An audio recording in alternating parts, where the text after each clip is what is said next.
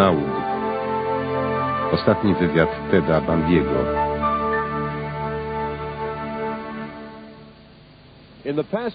Kilka tygodni temu w Stanach na nowo rozgorzała dyskusja na temat pornografii, zwłaszcza tak zwanej twardej, brutalnej. Toczy się we wszystkich mediach od egzekucji wielokrotnego zabójcy Teda Bandiego w więzieniu stanowym Florydy. W wywiadzie udzielonym na kilka godzin przed śmiercią Bandy mówił o tym, w jaki sposób pornografia dała początek i ukształtowała jego mordercze fantazje seksualne. Rozmawiał z nim psycholog i autor wielu książek, dr James Dobson, prezes organizacji Focus on the Family. Dramatyczny reportaż, który stał się osią dyskusji, jest ostatnią oficjalną wypowiedzią skazańca. Rozmawiamy o tym z doktorem Dobsonem w biurze organizacji w Pomona w Kalifornii. Wydarzenie, które miało miejsce w więzieniu stanowym Florydy, odbiło się w prasie szerokim mechem. Gazety dostarczają fascynujących informacji o tym, co działo się przed więzieniem, drukują wywiad i szeroko opisują to, co działo się później. Zastanawiające jest to, że więcej uwag krytycznych padło pod Pana adresem niż pod adresem Bandiego. Zacznijmy więc od przedstawienia Pańskiej osoby oraz pozycji w środowisku zawodowym. Wypadłem gorzej niż człowiek, który zabił 28 kobiet i dzieci. Powinienem mieć własnego rzecznika prasowego.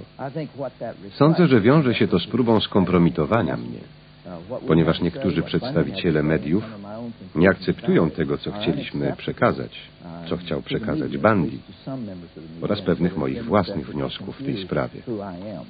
Stąd próby wypaczenia obrazu mojej osoby. Nazwano mnie tyle ewangelistą, aby utożsamić mnie z kompromitującymi incydentami, które miały miejsce kilka lat temu. Nazwano mnie kapłanem i tak dalej. Mam wprawdzie własny program w 1300 chrześcijańskich stacjach radiowych, ale równie dobrze można by twierdzić, że każdy, kto mieszka w Kalifornii, jest producentem pomarańczy. W większości artykułów nazywano pana radiowym kaznodzieją. Chyba też nietrafnie. Jak pan by sam siebie określił? Doktoryzowałem się z psychologii dziecięcej na University of Southern California. Mam stanową kalifornijską licencję psychologa. Przez 14 lat pracowałem na Wydziale Medycyny tego uniwersytetu i przez 17 w szpitalu dziecięcym w Los Angeles. Posiadam zatem wiedzę w dziedzinie badań i rozwoju dziecka. Nie jestem kapłanem. Nie byłem w seminarium duchownym. Nie mam takiego wykształcenia. Gdybym je miał, byłbym z tego dumny, ale ich nie mam. Nie jestem kapłanem. Zdobył pan rozgłos książką Zasady nie są dla tchórzy, która okazała się w Stanach Zjednoczonych w roku 1970. Rozeszła się w milionach egzemplarzy, co sprawiło, że stał się pan osobą znaną. Potem założył pan organizację Focus on the Family, która, o ile się nie mylę, ma na celu promocję działań prorodzinnych. Zrezygnowałem z pracy na uniwersytecie i w szpitalu, aby zająć się propagowaniem wartości, w które wierzę. Interesuje mnie rodzina oraz to, co jej zagraża. Pornografia jest wprawdzie tylko jednym z zagrożeń, ale za to bardzo istotnym. Zarzucano panu innymi, że nie ma pan odpowiednich kwalifikacji do przeprowadzania wywiadów, sugerując, że dziennikarz zrobiłby to lepiej, ale jako psycholog przeprowadził pan setki tysięcy wywiadów, bo na tym zasadza się ta praca. No właśnie, ponadto, jak już mówiłem, prowadzę codzienny 30-minutowy program w 1300 stacjach radiowych. Ludzie słuchają mnie 10 200 razy w tygodniu w 25 krajach. Te programy najczęściej mają charakter wywiadów. Co jeszcze trzeba robić, aby zostać profesjonalnym autorem wywiadów? To jest kolejna próba podważenia wiarygodności kogoś, kto waży się mówić coś, co niepokoi jego oponentów. Były też bardzo poważne sugestie lub wręcz stwierdzenia, że próbuje pan wykorzystać Bandiego, aby na nim zarobić. Że zamierza pan sprzedać wywiad sieciom telewizyjnym, albo że jest pewien plan, który pozwoli panu wykorzystać wywiad do zrobienia pieniędzy. Co powie pan na ten temat? To największa obelga. Ta chęć połączenia mojej osoby z teleewangelistą i problemami natury finansowej, jakich byliśmy świadkami kilka lat temu. Łącząc mnie z takim oszustwem, dyskredytuje się moją wizytę na Florydzie oraz motywy, dla których rozmawiałem z Tedem Bandym. Prawda wygląda tak. Wyszedłem z więzienia z wywiadem na jednej kasecie wideo. Zna pan prawa podaży i popytu. W tym wypadku podaż miała rozmiary jednej kasety, a popyt był ogromny. Wszystkie środki przekazu w Stanach oraz całe mnóstwo zagranicznych. Mogłem sprzedać tę kasetę za spore pieniądze. Proponowano nam pół miliona dolarów za 12-godzinne opóźnienie. Innymi słowy, gdybyśmy ją dali jednej sieci 12 godzin przed innymi, dostalibyśmy pół miliona dolarów. Zewsząd proponowano nam pieniądze 50 tysięcy, 25. Nie skorzystaliśmy z tego, poszliśmy do studia i opracowali wywiad, który trwał 29 minut i 30 sekund. Na nasz koszt. Po czym daliśmy go każdemu, kto chciał. Bez wyjątku, każdemu. 600 kaset z wywiadem. Na nasz koszt. Wywiad i kasety kosztowały 40 tysięcy dolarów. Rozdaliśmy je. Przyszły setki, a nawet tysiące zamówień. A kasety, jak wiadomo, kosztują.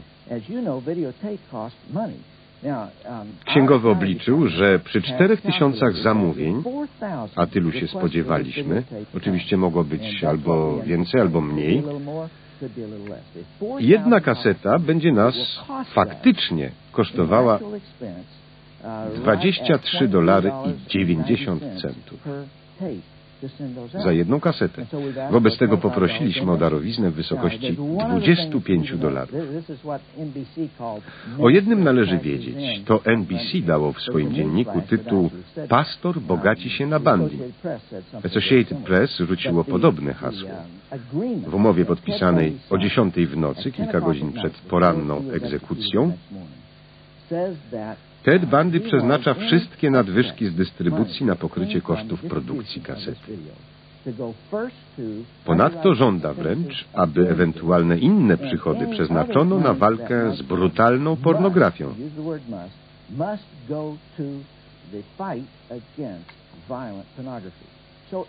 Zatem gdyby były z tego jakieś dodatkowe pieniądze, na co się nie zanosi, całość poszłaby na ten cel. Tak wygląda to ich zdaniem bogacenie się.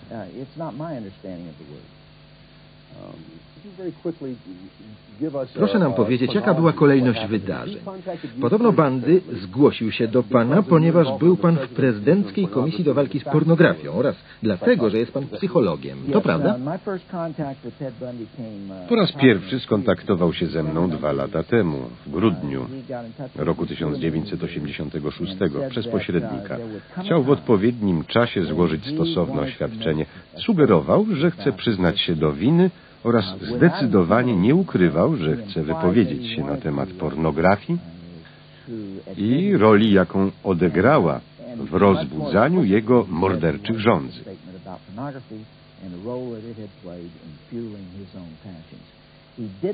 Nie wierzył, że prasa przekaże jego posłanie szerokim masom.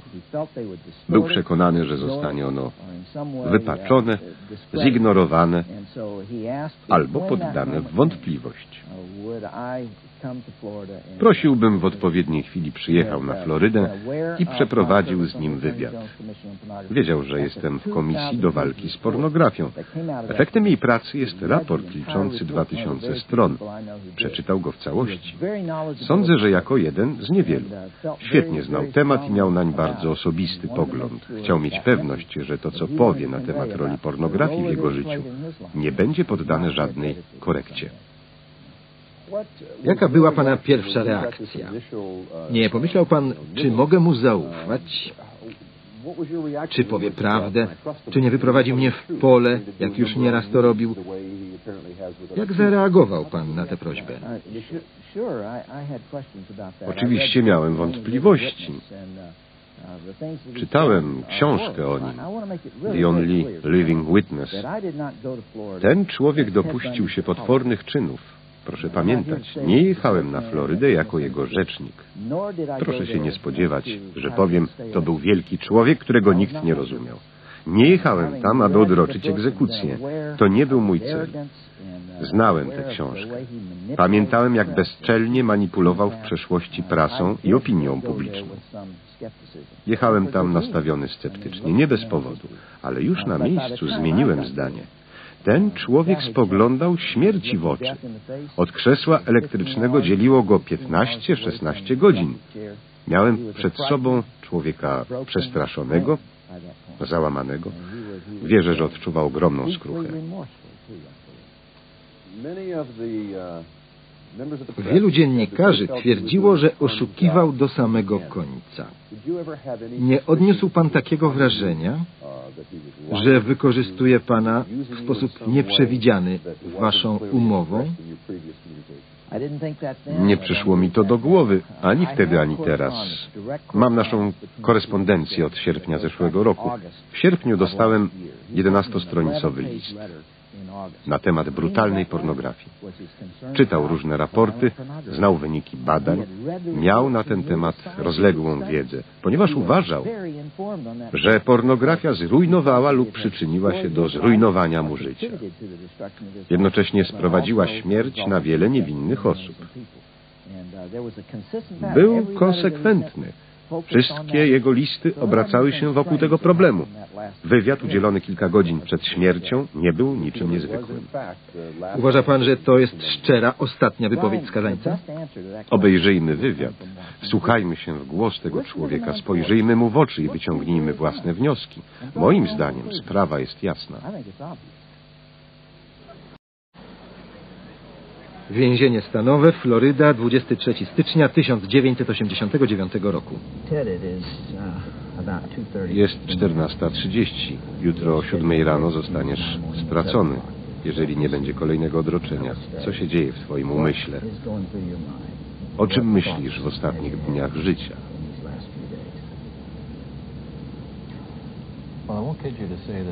Nie będę przed panem udawał, że panuję nad sytuacją, albo że pogodziłem się z tą myślą.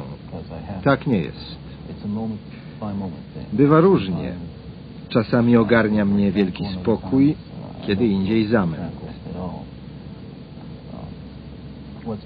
Staram się te ostatnie godziny i minuty spędzić jak najowocniej.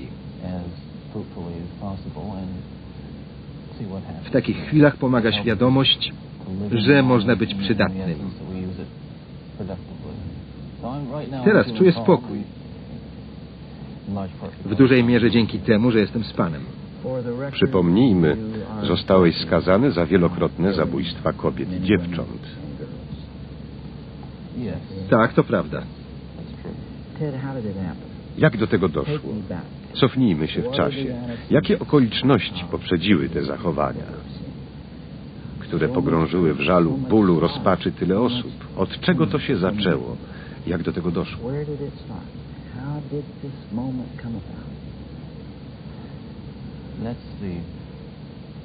To jest najważniejsze pytanie. Odpowiedzi na nie od wielu lat szukają ludzie mądrzejsi ode mnie. Ja również od dawna się nad tym zastanawiam. Próbuję zrozumieć. Nie wiem, czy to da się wyjaśnić. Myślę jednak, że rozumiem, co działo się ze mną. Potrafię prześledzić w sobie rozwój pewnych emocji i koncepcji. Do chwili, kiedy zacząłem wprowadzać je w czyn. To były uczucia wyjątkowo gwałtowne i niszczycielskie. Cofnijmy się do korzeni. O ile dobrze pamiętam, wychowałeś się w rodzinie, którą uważasz za normalną. Zdecydowanie. Nie znęcano się nad tobą fizycznie, nie molestowano seksualnie, znęcano się psychicznie. Nie, skądże? Na tym polega tragedia. Wychowałem się w porządnej rodzinie. Było nas pięcioro.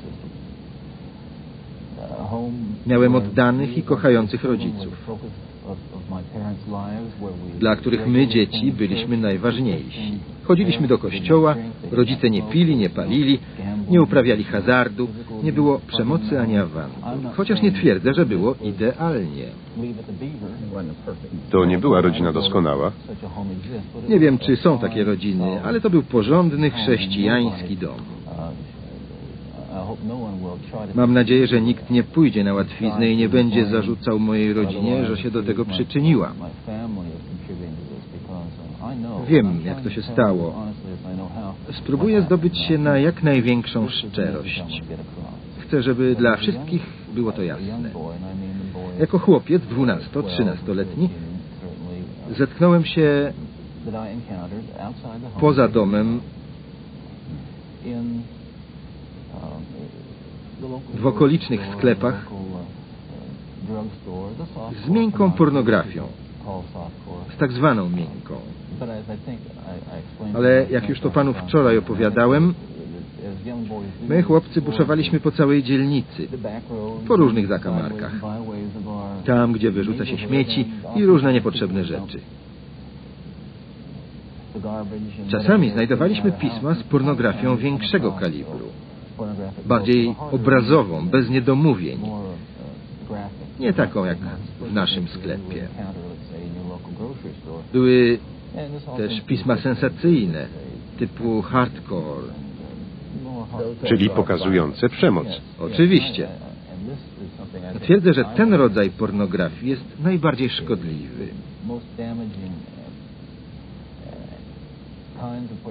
Takie jest moje doświadczenie, trudne i osobiste. Najgroźniejsza jest pornografia łącząca przemoc z przemocą seksualną. Połączenie tych dwóch sił, mało kto zna to tak dobrze jak ja, prowadzi do zachowań tak potwornych, że trudno je opisać. Opowiedz mi, co działo się wtedy w twojej głowie. Zanim do tego przejdziemy, to dla mnie bardzo ważne, żeby mi ludzie uwierzyli. Powtarzam, nie obwiniam pornografii. Nie twierdzę, że to ona popchnęła mnie do pewnych czynów. Biorę na siebie pełną odpowiedzialność za wszystko, co zrobiłem. I nie o tym chciałem mówić. Istotne jest to, w jaki sposób ten rodzaj literatury przyczynia się i pomaga kształtować różne zachowania agresywne. Pobudza wyobraźnię. Na początku rzeczywiście pobudza takie myślenie. Ale w pewnej chwili zaczyna odgrywać instrumentalną rolę w jego krystalizacji. To myślenie staje się niemal odrębną całością. Na tym etapie stoi się już nad przepaścią. Ja przynajmniej byłem wówczas bliski realizacji tych fantazji. Czyli do tej pory twoja wyobraźnia karmiła się materiałem drukowanym, również filmami. Filmami, magazynami, wszystkim, co było pod ręką. I wówczas poczułeś potrzebę zrobienia tego wielkiego lub niewielkiego kroku ku faktycznemu wydarzeniu. Tak, narastała stopniowo. W moim przynajmniej przypadku to nie stało się z dnia na dzień. Z mojego doświadczenia wynika, że pornografia, w szczególności pornografia połączona z przemocą seksualną, prowadzi do uzależnienia. Staje się nałogiem. Człowiek szuka coraz mocniejszych wrażeń,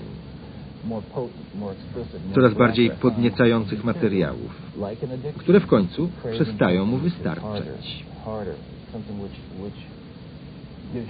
I w pewnej chwili dochodzi do wniosku, że wprowadzenie tego w czyn dostarczy mu więcej emocji niż oglądanie lub czytanie.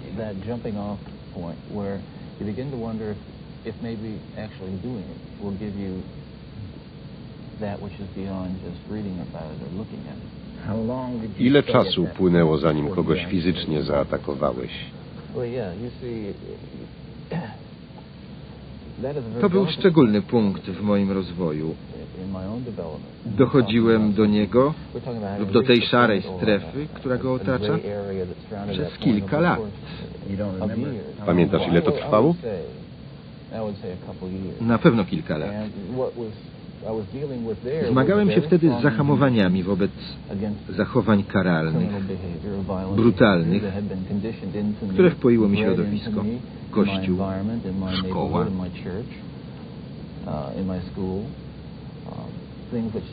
Tego nie wolno robić. Sama myśl o czymś takim jest grzechem, a co dopiero taki czyn.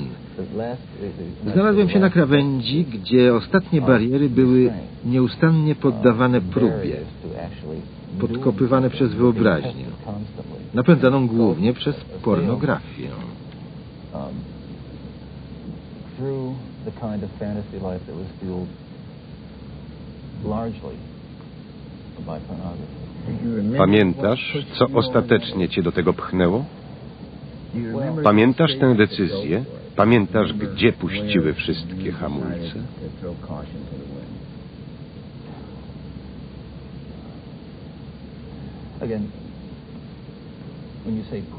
Powiedział pan, że coś mnie do tego pchnęło. Powtarzam, nie byłem bezwolną ofiarą.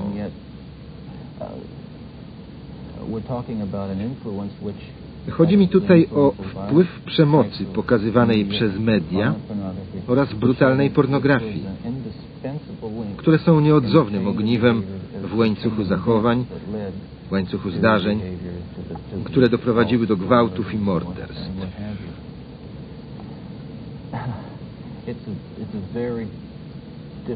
Trudno to opisać.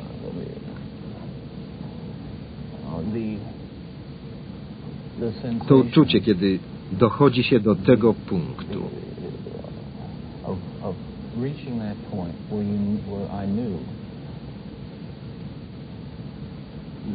Poczułem, Jakby nagle puściły wszystkie hamulce. Wiedziałem, że już nad tym nie panuję. Że wszystkie zakazy, które mi wcześniej wpajano, już mnie nie powstrzymają przed tym, bym wybrał ofiarę i zrobił jej krzywdę. Nazwałbyś to szałem? Szałem seksualnym? Można to tak nazwać. Określiłbym to jako przymus, spiętrzenie niszczycielskiej energii.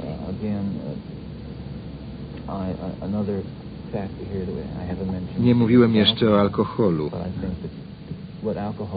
Myślę jednak, że alkohol w połączeniu z działaniem pornografii pomagał mi przełamać te bariery. A urojona rzeczywistość, karmiona pornografią, dokonała reszty. uh. Podobno na początku, kiedy zacząłeś to robić, często byłeś pijany. Tak, Za każdym razem? Zazwyczaj. prawie zawsze. Rozumiem, że rozgorzała w tobie wewnętrzna walka. Z jednej strony zasady, definicje dobra i zła, których nauczono cię w dzieciństwie. Z drugiej niepohamowana żądza, wzmagana przez fascynację twardą, brutalną pornografią. I kiedy alkohol rozluźnił hamulce, nie miałeś już żadnych oporów. Y- y- um, Można to tak ująć. Occurred To całkiem trafne podsumowanie. Podejrzewam, że są ludzie, którzy powiedzą, ja też takie rzeczy oglądałem i wcale mnie nie ruszały. Wierzę im. Praktycznie każdy może oglądać materiały pornograficzne, odczuwać mniejsze lub większe podniecenie i na tym koniec. Taka jest natura uzależnień. Jedni ulegają im bardziej, inni mniej, ale niewielki odsetek reaguje na brutalną pornografię w sposób wyjątkowo agresywny i ty do nich należysz. To odegrało istotną rolę. Nie wiem, skąd wzięła się ta podatność. Wiem tylko, że pornografia odegrała decydującą rolę w rozwoju moich agresywnych zachowań.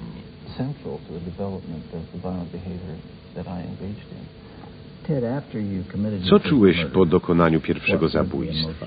Co działo się później?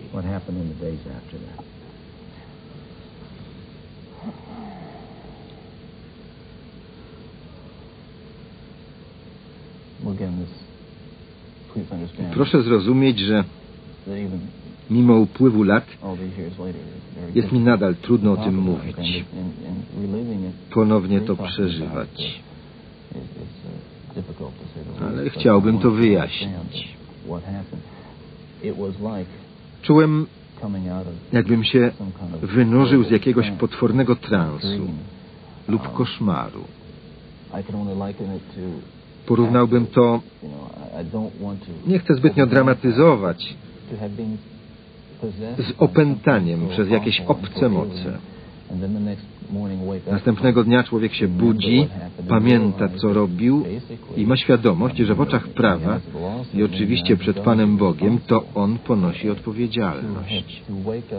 Budziłem się rano świadom tego, co zrobiłem oraz wszystkich zasad etycznych, przerażony, że jestem zdolny do czegoś takiego.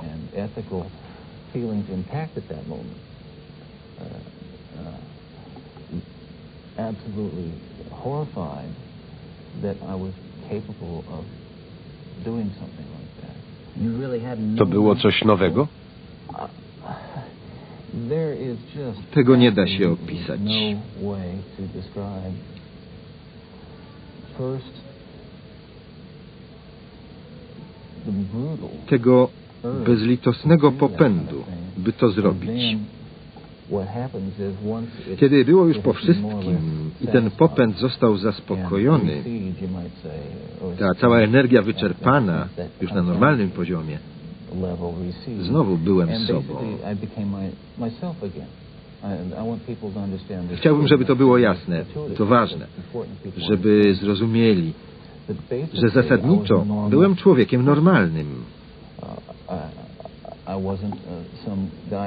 Nie włóczyłem się po barach, nie byłem menelem, ani zboczeńcem, o którym mówi się, z nim jest coś nie w porządku, bo to widać. Byłem zwyczajnym człowiekiem.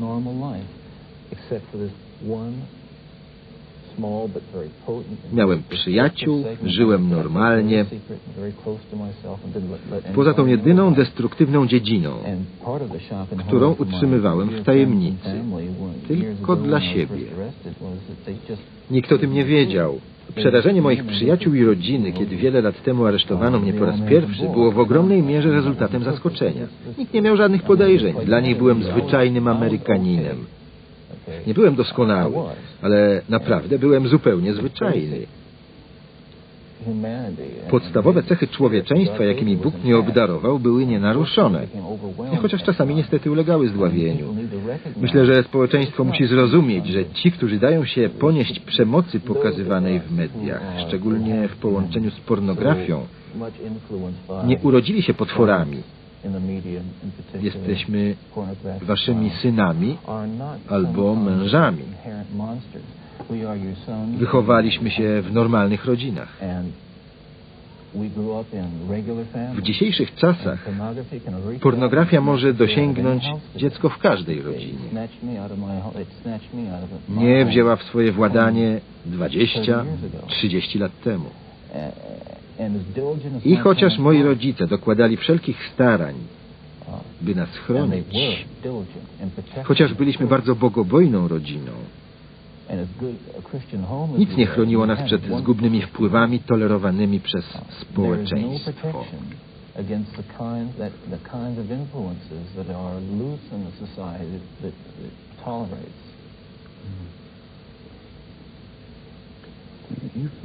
Jesteś o tym przeświadczony, prawda? Za tymi murami są setki reporterów, którzy chcieliby z tobą porozmawiać. Ale ty poprosiłeś mnie, żebym przyjechał tu z Kalifornii, ponieważ pragniesz mi coś przekazać. Ta wspólna godzina jest przeznaczona nie tylko na wywiad z człowiekiem, który ma jutro umrzeć.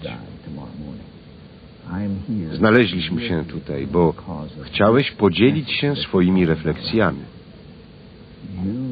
Jesteś przeświadczony, że twarda pornografia oraz prowadząca do niej pornografia miękka czynią w innych nieopisane spustoszenie i prowadzą do gwałtów i zabójstw, podobnych do tych, jakich ty się dopuściłeś.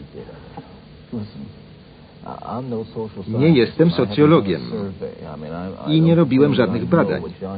Nie będę udawał, że wiem, co myśli na ten temat przeciętny obywatel.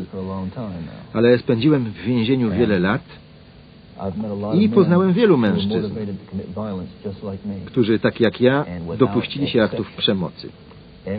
Wszystkich bez wyjątku pociągała pornografia. Wszyscy bez wyjątku byli w szponach uzależnienia od pornografii. Niezaprzeczalnie. Badania przeprowadzone przez FBI na temat masowych zabójców pokazały, że ich głównym zainteresowaniem jest pornografia. Tak, to prawda. Bo tak jest. Potrafisz sobie wyobrazić, jak wyglądało twoje życie bez tych wpływów? You can only speculate. Yeah. Well, I, I know it would have been far better. Na pewno byłoby znacznie lepsze. It's- Nie tylko dla mnie. Przepraszam za ten egoizm. Ale i dla innych. I I Wiem, że skrzywdziłem mnóstwo innych niewinnych ludzi. Ofiar There's no i ich rodziny. Na pewno byłoby lepsze, nie wątpię w to. uh, uh, I pełniejsze.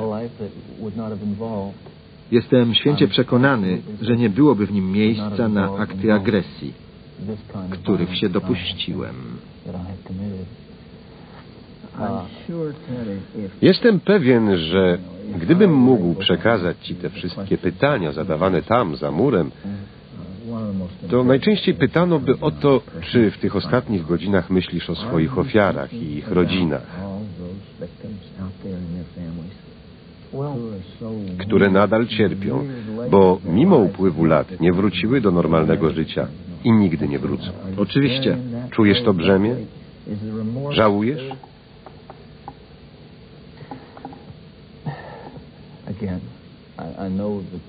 Wiem, że znowu zostanę posądzony o egoizm. Opowiadam panu, co czuję, ale z Bożą pomocą zostało mi dane za późno, ale lepiej późno niż wcale, poczuć rozpacz i ból, których stałem się przyczyną. Naprawdę. Jakiś czas temu przesłuchiwano mnie w związku z innymi morderstwami, które popełniłem.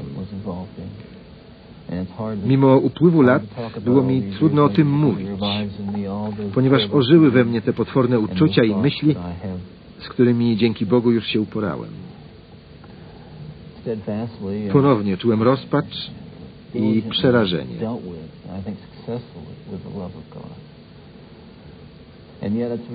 Mogę jedynie mieć nadzieję, że ci, których skrzywdziłem, którym zadałem cierpienie, nawet jeżeli nie wierzą w moją skruchę i żal, uwierzą w to, co teraz powiem, expression of sorrow and remorse, will że są wśród nich, w ich miastach, ludzie tacy jak ja,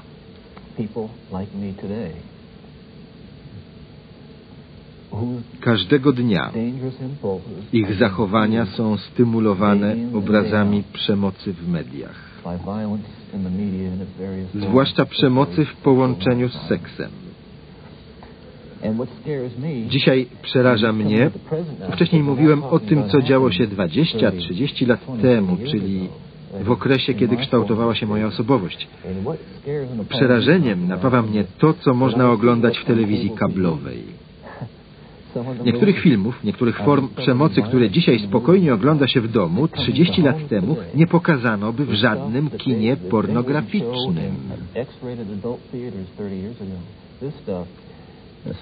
Mówisz o filmach najbardziej brutalnych.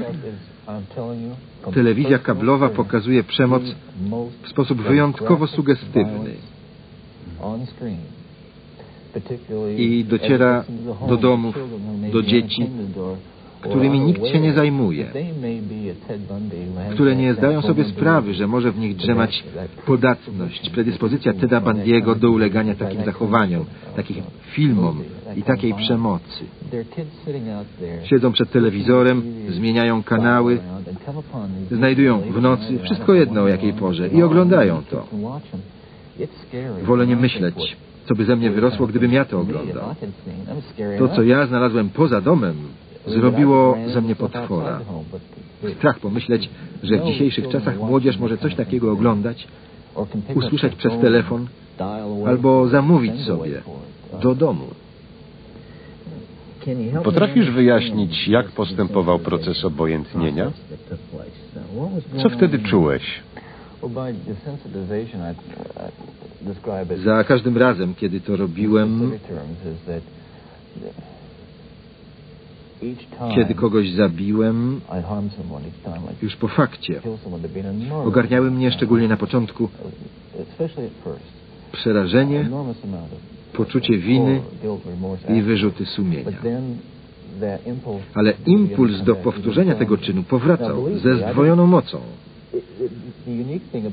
Niezwykłe było to, że w codziennym życiu, w innych sprawach nadal miałem poczucie winy i wyrzuty sumienia. Były w tobie dwie osobowości. Takie rozdwojenie. Był pewien wyodrębniony, bardzo konkretny obszar, jak czarna dziura, jak pęknięcie. Wszystko, co wpadło do tej dziury, znikało. Czy to jest zrozumiałe? Jedną z twoich ostatnich ofiar była dwunastoletnia Kimberly Leach. Kimberly Leach, 12 years old. Oburzenie opinii publicznej w tym przypadku było tym większe, że dziecko zniknęło z placu zabaw. Co czułeś po tym morderstwie? Czy trzy dni później twoje emocje wróciły do normy? Co się z tobą wtedy działo?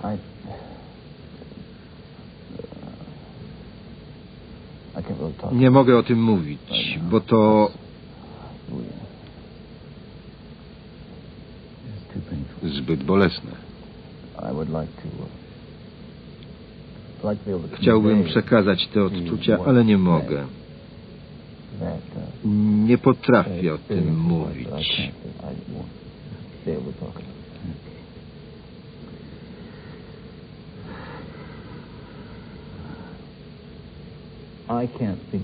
Nie zrozumiem. Mogę tylko próbować.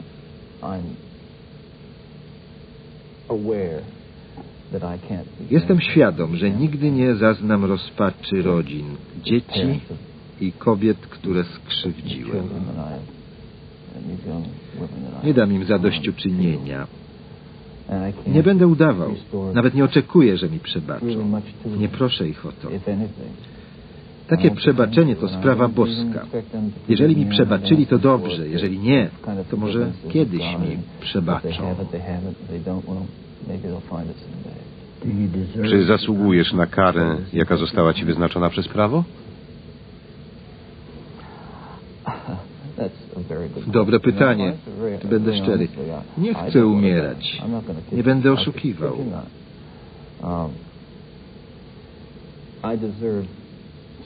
Oczywiście zasłużyłem na najsurowszą karę, jaką społeczeństwo dysponuje.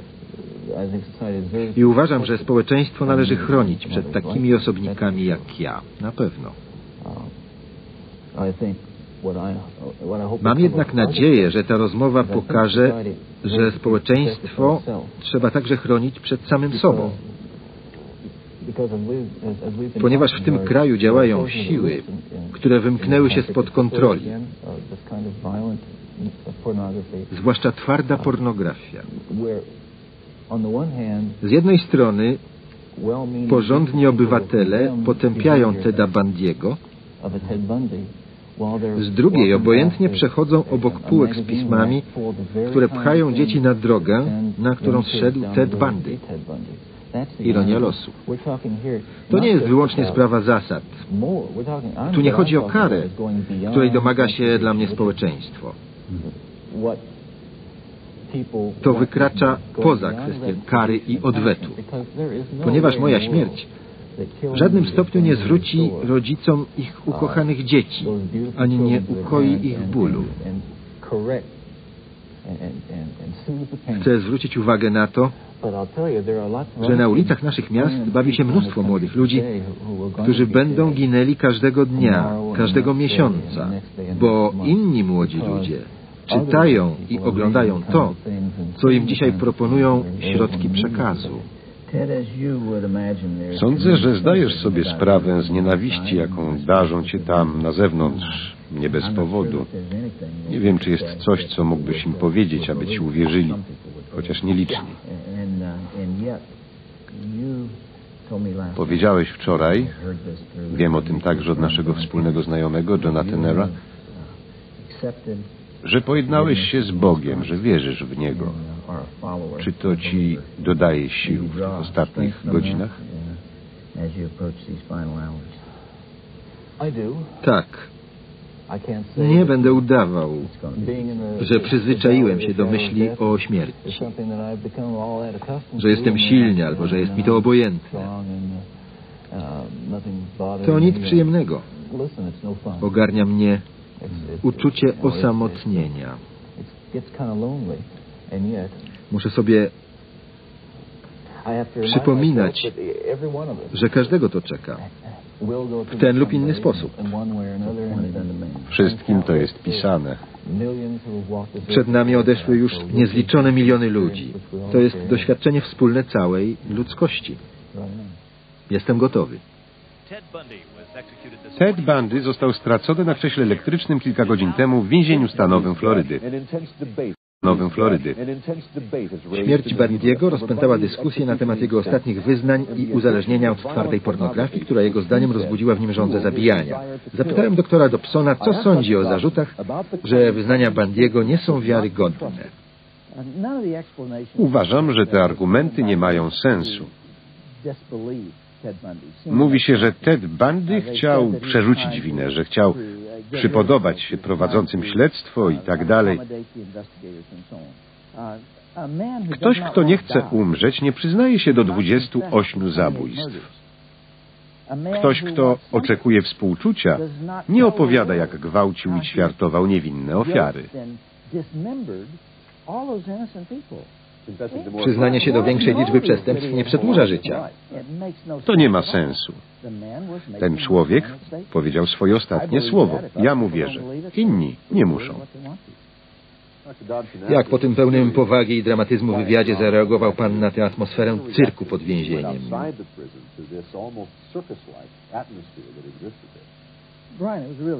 To było straszne. Trwało to już od kilku dni. To była dla nich świetna zabawa. Były tam hasła spalić Bandiego, grillowanie we wtorek, a nawet bardziej obraźliwe. Panowała atmosfera igrzysk. Prawie jak podczas walk gladiatorów w Rzymie. Ludzie się bawili, były fajerwerki. W końcu wykonano egzekucję, zawiadomiono o tym tłum i zajechał wielki biały karawan. Kiedy odjeżdżał z jego ciałem, tłum zachowywał się jak po meczu o Mistrzostwo Stanów. Dał upust swoim emocjom, śmiał się, wiwatował.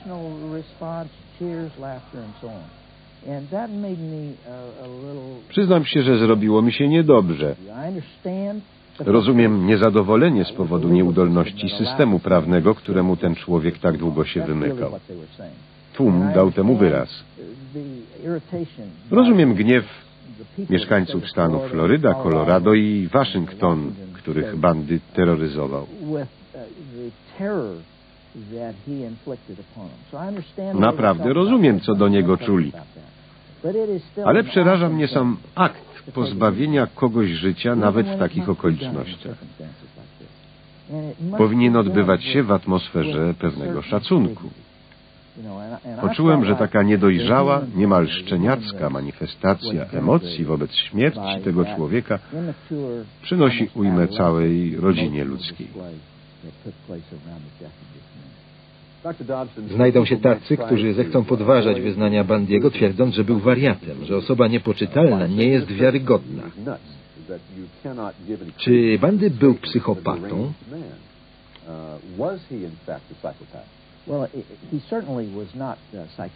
Na pewno nie na tyle, by nie odróżniać dobra od zła lub nie mieć kontaktu z rzeczywistością. Z jednej strony był człowiekiem bardzo elokwentnym, bardzo bystrym. To widać na filmie. Był bardzo komunikatywny. Z drugiej jednak miał pewne cechy patologiczne. Coś sprawiło, że był podatny na twardą pornografię. Poza tym coś osłabiło jego zdolność panowania nad tym. Niewiele wiem o jego dzieciństwie i rodzinie. Słyszeliśmy, co sam mówił na ten temat. Proszę zauważyć jednak, że w czasach nazizmu bez trudu znajdowano ludzi, którzy robili podobne rzeczy. Okazało się, że w społeczeństwie były ich tysiące, setki tysięcy. Zabijali Żydów, Polaków, Cyganów, bezbronne kobiety i dzieci. Zabijali niemowlęta, zrzucali do dołów i strzelali do nich. Po wojnie poddano ich badaniom psychologicznym i stwierdzono, że nie są psychopatami. Po prostu podsunięto im odpowiednią motywację. Stopniowo obojętnieli na okrucieństwo, aż w końcu już nic nie czuli. Ted mówił o tym. Po pierwszym zabójstwie przeżywał wewnętrzne katusze przez pół roku. Po drugim dokonanym pod wpływem tego obłędu cierpiał krócej, mniej intensywnie, aż osiągnął etap, na którym nic nie czuł. Nie trzeba być psychopatą, żeby zobojętnieć. Sądzę, że Ted był psychopatą, ale myślę, że to nie jest konieczne, aby zrobić to, co on. Zależność pomiędzy pornografią i przemocą. Czy badano te powiązania? Jaki jest stan badań związków między obrazami przemocy w pornografii i gdzie indziej, a zachowaniami agresywnymi? Posłuszmy się badaniami, na które powoływał się Ted. Badania FBI przeprowadzone na 36 masowych zabójcach, 36 mordercach, z których każdy zabił wiele osób. 29 z nich, czyli 81%, deklarowało silne zainteresowanie tematyką pornografii. I to pornografii najbardziej brutalnej. Oczywiście to są dane wycinkowe. 36 osobników nie reprezentuje całej populacji, ale te dane są całkiem przekonujące. Są powody, dla których psychiatrzy i psycholodzy twierdzą, że nie ma rzetelnych badań, wiarygodnych danych łączących te dwa zjawiska. Tego się nie da zbadać. Bardzo trudno jest przeprowadzić takie badania. Ile lat upłynęło, zanim wykazano związek między paleniem papierosów i rakiem płuc? Dziesiątki. Zrobiono mnóstwo badań. Nadal pozostaje niejasna rola cholesterolu. Te zależności można zmierzyć, zobaczyć. W przypadku zachowań ludzkich trudno jest cokolwiek udowodnić. Więc kiedy się mówi, że nie ma na to dowodów, mając na myśli najbardziej obiektywne badania, spełniające wszystkie wymogi metodologiczne, to to jest prawda. Nie można przeprowadzić takich badań. Nie dlatego, że je robiono i nie wykazały takiego związku, ale po prostu jest to niemożliwe. Należałoby zebrać dorosłych mężczyzn, którzy lubią tego rodzaju lektury i podzielić ich na dwie grupy. Jedną wystawiać na działanie pornografii, drugą nie. Albo młodych mężczyzn powyżej 18 roku życia. Połowę poddać działaniu materiałów pokazujących przemoc seksualną, a połowę nie. I obserwować, co się stanie. Nie można tego zrobić, bo to nieetyczne. Takich badań nie będzie. Za to wyniki badań wycinkowych są zdecydowanie przekonujące. W latach 70. przeprowadzono badania, które wykazały, że dzieci pod wpływem brutalnych zachowań w telewizji i w filmach wybierają przemoc, aby rozwiązywać konflikty. Czy ponawiano te badania? Rzecz w tym, że to jest dostępne dla każdego. Każdy może włączyć telewizor i oglądać morderstwa, sztyletowanie i inne sceny okrucieństwa. Prowadzi się takie badania. Na przykład Malamut i Feshbach badali mężczyzn, studentów drugiego roku koledżu.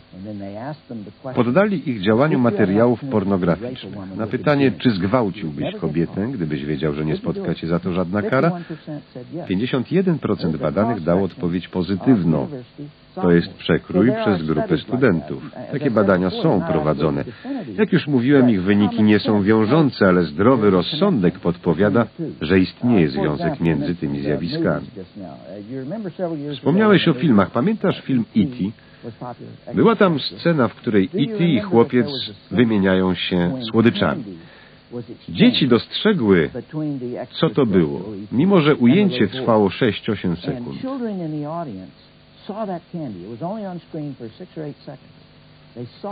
Podały nazwę tych słodyczy.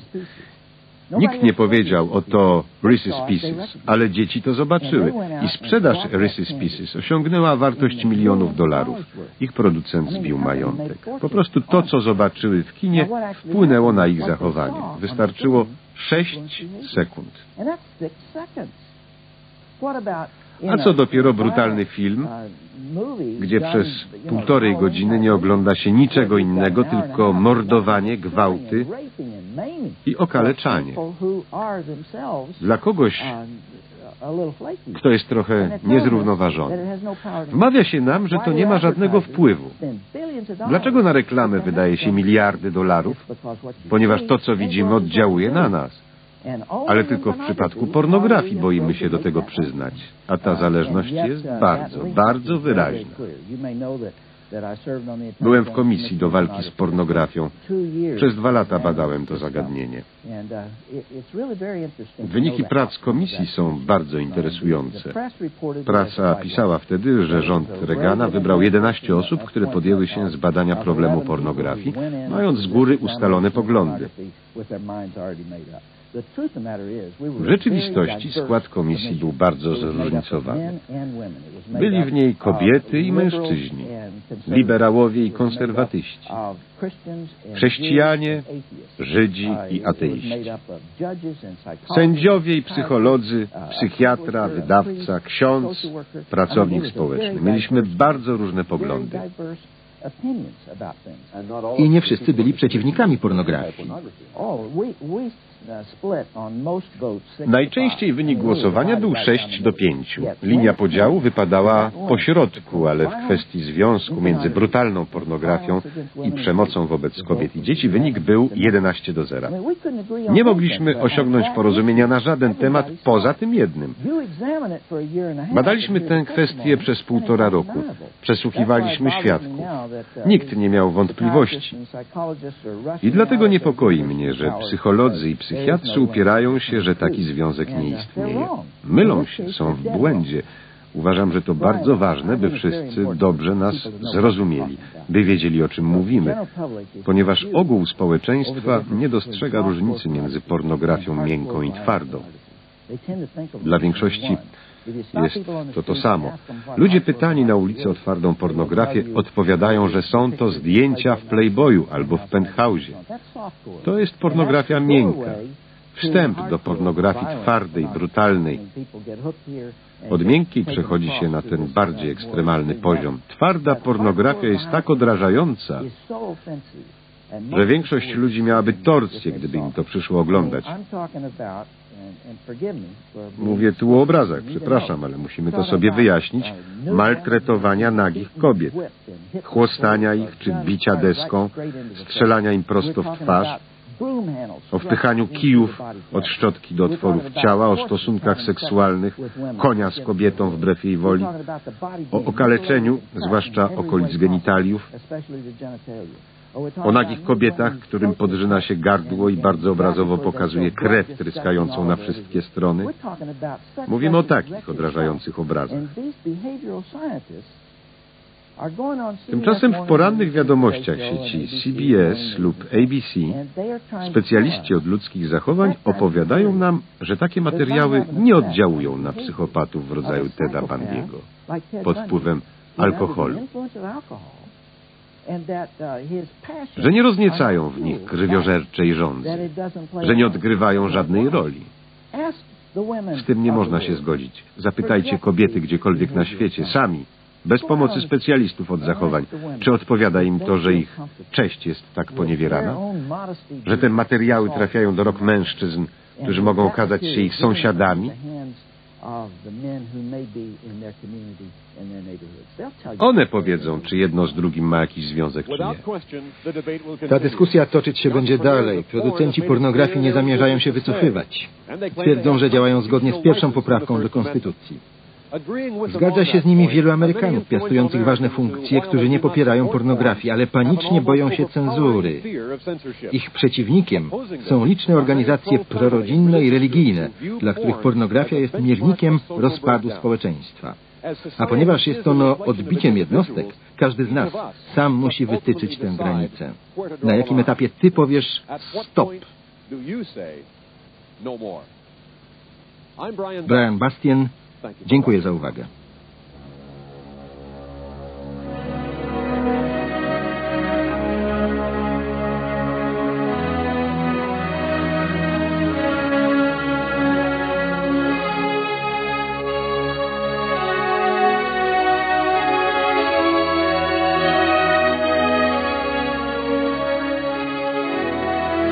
Tłumaczenie Małgorzata Stafiej.